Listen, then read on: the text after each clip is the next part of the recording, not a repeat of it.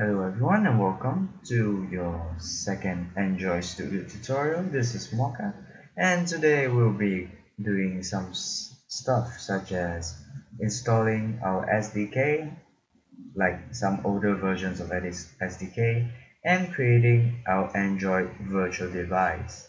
So today we're to try to install an API level 14 SDK. Why is that so? Because um, currently not all phones are really up to date and are updated.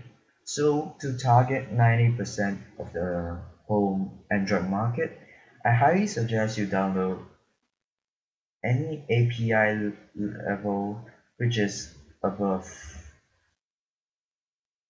12 but the optimal one is API 14 so I'm going to do that right now.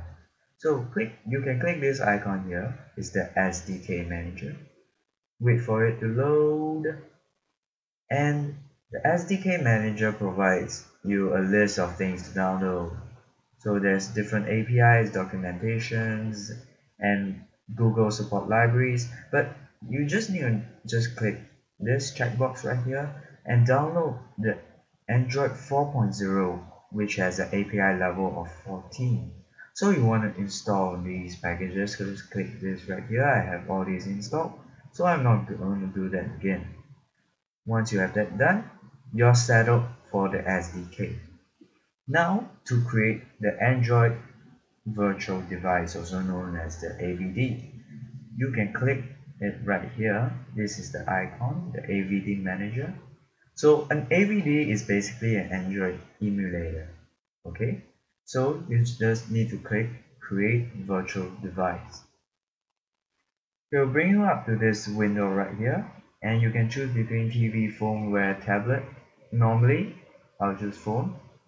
And you can choose different types of phones. Let's do the get yeah.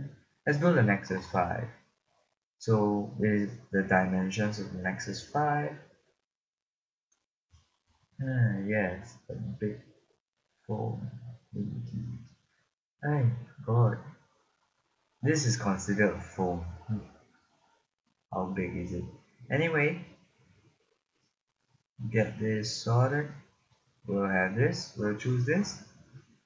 We'll click on it. Next.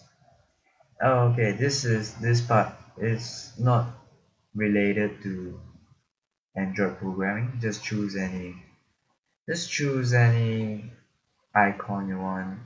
I'll just choose this. It just gives you this icon. It's nothing much seriously. So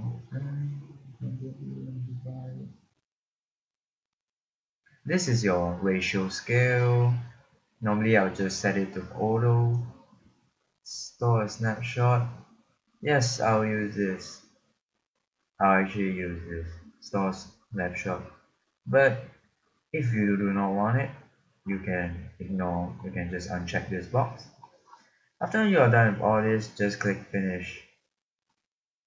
And you create the AVD for you. So whenever you run a job the uh, an Android application you can either choose a running Android device by just plug it in in your USB port or you can choose the AVD personally I'll use the a running device. But if you do not have an Android device that's okay. The AVD is there to save so that's about it for this tutorial. I thank you guys for watching and I'll see you in the next one